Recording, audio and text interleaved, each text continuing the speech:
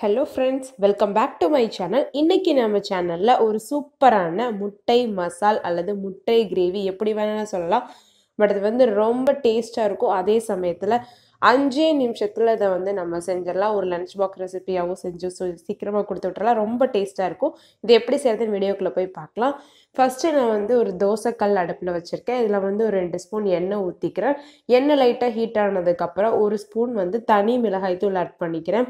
அரை ஸ்பூன் வந்து மிளகுத்தூள் ஆட் பண்ணிக்கிறேன். கால் ஸ்பூன் வந்து மஞ்சள் தூள் வந்து ஆட் பண்ணிக்கிறேன். அப்புறம் வந்து கொஞ்சமாக தூள் உப்பு இதிலேயே வந்து நீங்கள் ஆட் பண்ணிக்கோங்க. ஆட் பண்ணிவிட்டு இதை வந்து நல்லா மிக்ஸ் பண்ணி விடுங்க. அடுப்பை வந்து லோ ஃப்ளேமில் வைங்க ஃபுல் ஃப்ளேமில் வச்சிங்க அப்படின்னா அந்த மசாலாக்கள் எல்லாமே வந்துட்டு கரிஞ்ச மாதிரி வந்து ஆகிடும் அதனால் லோ ஃப்ளேமில் வச்சு கிளறி விடுங்க. இது பண்ணிவிட்டு நீங்கள் வந்து முட்டையை வந்து ஒரு டென் மினிட்ஸ் நல்லா வந்து பாயில் பண்ணிங்கனாவே கரெக்டாக வந்து இருக்கும். பாயில் பண்ண எல்லா முட்டையும் நான் ரெண்டு ரெண்டு பீஸாக வந்து கட் பண்ணி வச்சுருக்கேன். அது எல்லாத்தையுமே இந்த மசாலில் வந்து நான் வந்து ஆட் பண்ணிக்கிறேன். ஆட் பண்ணிவிட்டு இதை வந்து ஒரு ஒரு நிமிஷம் வந்து விட்டதுக்கப்புறமா இன்னொரு சைடும் வந்து திருப்பி போடுங்க.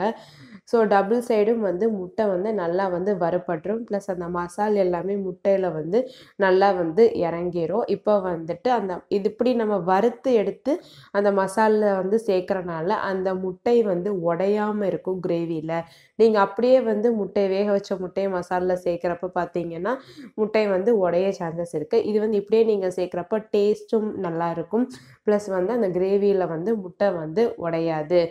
ஓகே. இப்போ இது எல்லாமே நல்லா வறுப்பட்டுருச்சு ஒரு டூ டு த்ரீ மினிட்ஸ் நல்லா வந்து வறுத்து இன்னொரு பிளேட்டுக்கு நான் வந்து ட்ரான்ஸ்ஃபர் பண்ணி எடுத்து வச்சுக்கிறேன். ஓகே. இப்போ அந்த கிரேவி வந்து நம்ம எப்படி ரெடி பண்ணுறதுன்றதை பார்க்கலாம். ஒரு வடைச்சட்டி நான் வந்து எடுத்திருக்கேன். அதில் வந்து ரெண்டு ஸ்பூன் ஆயில் ஆட் பண்ணியிருக்கேன். அதில் வந்து ஒரு ஸ்பூன் வந்து சோம்பு சேர்த்துருக்கேன். ரெண்டு சின்ன பீஸ் பட்டை சேர்த்துருக்கேன்.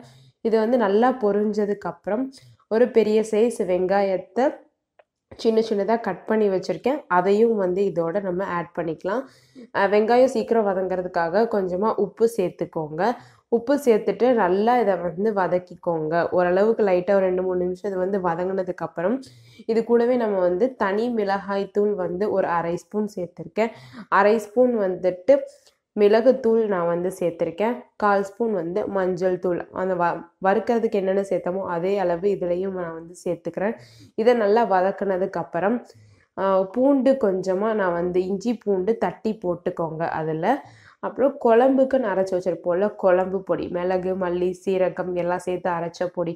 அந்த பொடி வந்து ஒரு பெரிய ஸ்பூனில் ஒரு ஸ்பூன் நான் வந்து ஆட் பண்ணிக்கிறேன். இது வந்து ரெண்டு நிமிஷம் நல்லா வதங்கினதுக்கப்புறம் தேங்காய் அண்டு சோம்பு அரை ஸ்பூன் போட்டு நல்லா வந்து ஒரு பேஸ்ட் அரைச்சி வச்சுருக்கேன். அந்த பேஸ்ட்டையும் நான் வந்து போட்டுக்கிறேன். அதுக்கப்புறம் ஜாரில் அதே கழுவி அந்த தண்ணியை வந்து நான் வந்து இப்போ ஆட் பண்ணிக்கிறேன். இப்படி இந்த பேஸ்ட் அரைச்சி சேர்க்குறப்ப உங்களுக்கு வந்து அதோட கிரேவி கன்சிஸ்டன்சியில் வந்து கிடைக்கும். ஏன்னா இதில் வந்து நம்ம தக்காளி எதுவுமே வந்து ஆட் பண்ணலை அரைச்சி ஊற்றலை ஸோ இந்த தேங்காய் நம்ம வந்து சேர்க்குறப்போ நம்ம வந்து இந்த மாதிரி கிரேவி கன்சிஸ்டன்சியில் கிடைக்கும்.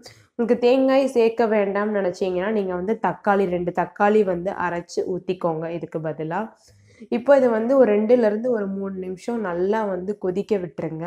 ஒரு மூடி போட்டு மூடி வச்சுக்கோங்க. அந்த தேங்காய் பேஸ்ட் எல்லாமே மீடியம் ஃப்ளேம்லேயே வச்சு கொதிக்க விட்டுருங்க. அப்புறம் வந்து என்ன பண்ணுறீங்கன்னு பார்த்தீங்கன்னா ரெண்டு மூணு நிமிஷத்துக்கு அப்புறம் நம்ம வறுத்து வச்சுருக்கோம்ல அந்த முட்டை மசால் போட்டு வறுத்து வச்ச முட்டை இருக்குல்ல அந்த முட்டை எல்லாத்தையுமே வந்துட்டு ஒரு ஒரு பீஸாக வந்து சேர்த்துக்கோங்க. சேர்த்துட்டு ஒரு ரெண்டு நிமிஷம்க்கு அப்புறம் எல்லா முட்டைகளையும் நீங்கள் வந்து திருப்பி விடுங்க. இப்போ நம்ம வறுத்து எடுத்து இந்த முட்டைகளை வந்து இப்போ சேர்த்துருக்கிறதுனால பாருங்கள் முட்டை பீஸ் வந்து உடையவே வந்து இல்லை. அப்படியே வந்து முழுசு முழுசாக வந்து இருக்குது நீங்கள் வந்து நல்லாவே வந்து பார்க்கலாம். இப்போ நீங்கள் முட்டையை வேக வச்சு அப்படியே வந்து இதில் சேர்த்துருந்தீங்க அப்படின்னா அது வந்து உடஞ்சிருக்கும் கண்டிப்பாக இப்படி நம்ம வறுத்து சேர்க்கறனால டேஸ்ட்டும் நல்லாயிருக்கும் ப்ளஸ் வந்து முட்டையும் வந்து உடையாமல் அப்படியே வந்து இருக்கும்.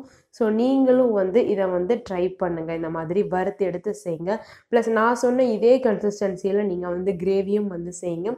ரொம்பவே வந்து லன்ச் வந்து நல்லா இருந்தது. அன்றைக்கி சூப்பராக வந்து இருந்துச்சு இந்த கிரேவி ஸோ இப்போ வந்து ஒரு ரெண்டு மூணு நிமிஷம் வந்து இது நல்லா வந்து கொதிக்கட்டும். அந்த முட்டையோட அந்த மசால் எல்லாமே வந்து ஒன்று சேரட்டும்.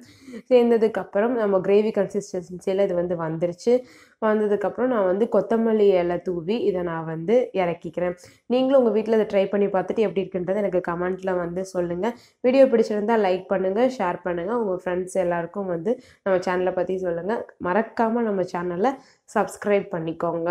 இன்னொரு சூப்பரான வீடியோவோட உங்கள் எல்லாரையும் வந்து சந்திக்கிறேன் டேக் கேர் பாய் பாய்